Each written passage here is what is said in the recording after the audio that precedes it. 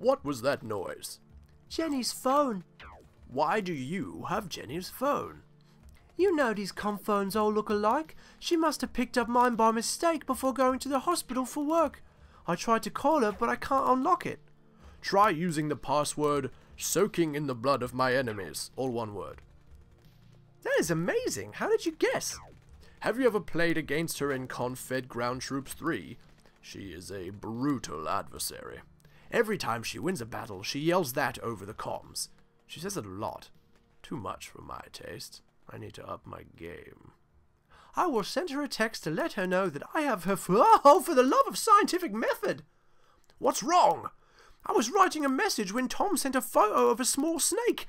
It scared me. I'm afraid of... Ah, he sent another one. Wait a second. No, that's the human breeding organ. Why would he be sending that to Jenny?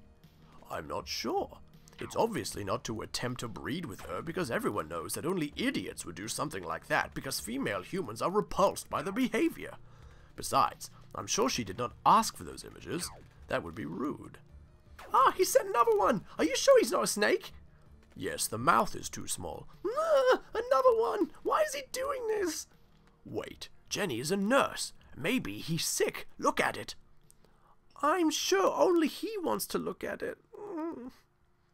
He's obviously in need of medical attention and trying to get hold of Jenny for help. We must do something. I'm just going to forward this to my mother. She'll know what to do. You are a good friend, Hedda. Let's go get lunch.